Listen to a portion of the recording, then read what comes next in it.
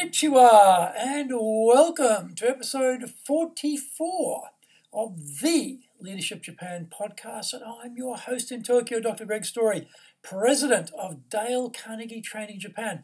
And much more importantly, you are a student of leadership, highly motivated to be the best in your business field. And if you would like your own access to 102 years of the accumulated wisdom of Dale Carnegie training through free white papers, guidebooks, reports, training videos, blogs, course information, plus much, much more, then go to japan.dalecarnegie.com.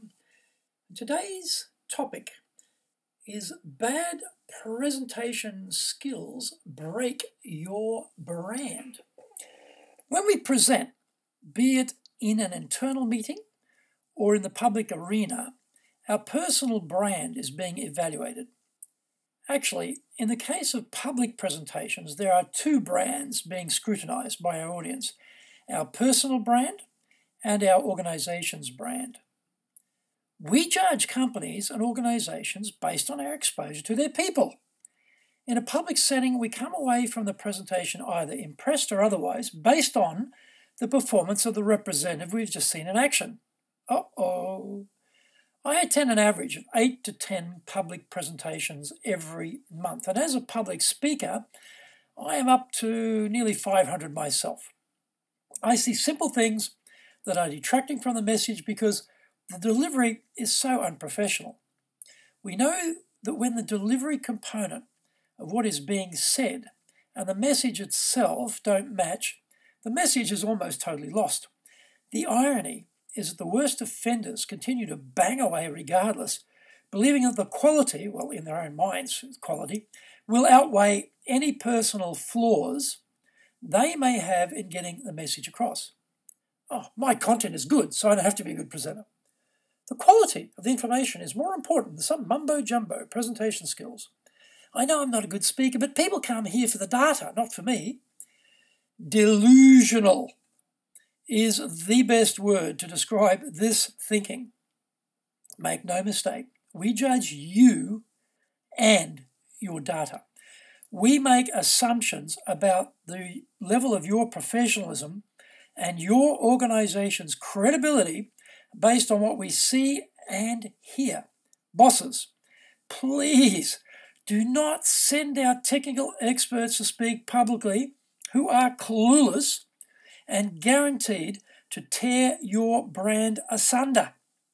Give them the proper training, prepare them, and make them a brand ambassador, a brand saint. Here are some simple presentation mistakes easily corrected. A reasonable presentation by someone who had long experience in the industry was severely diminished by three errors. The first was to use the screen as his prompt for the content. He would ignore the audience, turn backward, look up towards the screen behind him, and thereby surrender the opportunity to make eye contact with those gathered. He also read off the screen. Turning your back on the audience doesn't enable you to watch for their reactions to what you're saying. Or to drive home the key points by using your eye power. The second problem was a common one the misusage of PowerPoint, or the misuse of PowerPoint. Too much detail on a screen is hard to digest. It diffuses the key points being made and distracts from you, the main part of the presentation. That is right, you are the main part of the presentation, not what is up on the screen. We buy you, and your information or point of view comes with the purchase. Another unfathomable choice was use of colour. Red on black is always going to be a losing proposition from a message clarity point of view, especially on a busy screen. It may look hip on your laptop screen when seated 20 centimetres away, However, by the time it goes through whatever random selection process there is for the in house projector and backing screen, the hypnus factor dissipates rapidly into incomprehension. This is accentuated when the distance from the screen to the audience becomes 10 meters or more. On the subject of projection tools, another recent presentation used a wall mounted whiteboard as a screen in a room where the audience was reasonably close to the presenter. Too much reflection of strong white projector light off the whiteboard combined with black text content on a white slide background produced snow blindness. The content became insipid and hard to read. A better choice would have been white text on a dark blue background for contrast, a relatively simple but highly effective change. Back to our hapless hero. Another self-inflicted wound to his personal brand was Q&A time. Now, we are all 100% in control during our presentations, but this is all out the window once the floor is open up to question time. If you know what you're doing, you never lose control of the proceedings, even when you plunge into the dark hole of question time. Sadly, our presenter didn't know what he was doing, and that lack of ability to handle questions professionally was like watching the life force ebb from the body of his professional image. Another day, a different presentation, and a different set of unforced errors. Take careful note of your speaking venue. If you are trained properly, the layout will tell you immediately what you need to do to accommodate the various peculiarities on offer. Now, this particular venue was a bit special. It was quite wide, but not so deep, with the screen right in the middle. Now, the speaker chose to use a microphone, when actually, for that size and layout of the venue and the power of his voice, it wasn't really necessary. Use a microphone when you need to be heard. Otherwise, give up the option provided by the organisers, who are usually not public speaking experts. Having a microphone means you have only one hand free for gestures, and often you are locked into the positioning of the microphone on the mic stand on the podium, so you're not you're really restricting yourself unnecessarily. Actually, there was a podium kindly provided by the organisers to rest the laptops upon. Now, the propensity is to get stuck behind this pseudo laptop stand, aka called the podium. This means half of your body is no longer visible to the audience. So you are giving up access to half of your body language unnecessarily. Shortish? Are we allowed to stay short? People should be very careful. I have seen many a combination of high podium and a bobbing talking head just making it above the waterline. It is not a great look. Get the organisers to get you something to stand on, or even better, get rid of the podium.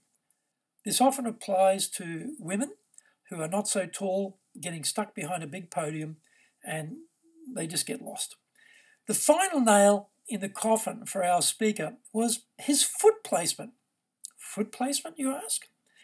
When we stand with our feet facing at a certain angle to the audience, we can find our upper body is now positioned such that we unconsciously favour one side of the room over the other.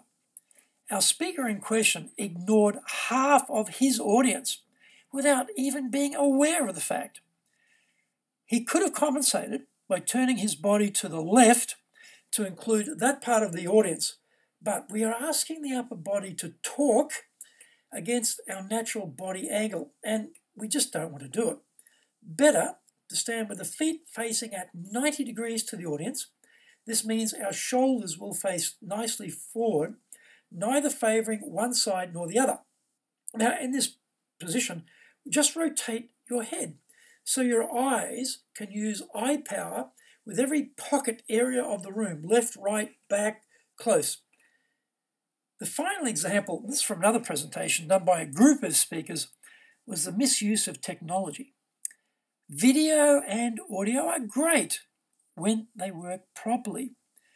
Oh, there is nothing so brand destructive as when your IT person is one of the speakers and they can't get the equipment to work either. It is a Schadenfreude derived amusement for the assembled crowd of non IT experts as they watch the IT person meltdown. But it's sad and destructive for your personal and organizational credibility. Make sure that the benefit of using the video is worth the risk. If it isn't really, really central to your message, then just drop it and replace it with something a million times more powerful. You. Don't use video as a substitute for you. Don't use video as a crutch for your failings as a presenter. You'll get yourself into more trouble if it doesn't work. If you do need it, then load all the speaker videos onto the one laptop. And by the way, have a fully loaded backup back laptop ready. Embed the videos. Don't even think of trying to use Wi Fi and test it all beforehand for all of the presentations. If something goes wrong anyway, don't grab the toolbox and try and get under the hood. Abandon the video at that point and just tell your audience the key points you were going to get across via the video. Keep tap dancing and move onward. Don't have your audience become bored contemplating the hair on the top of your head, even if it's ravishing and luxuriant, while you visibly panic at the keyboard trying to bang away on keys to get the damn thing back up.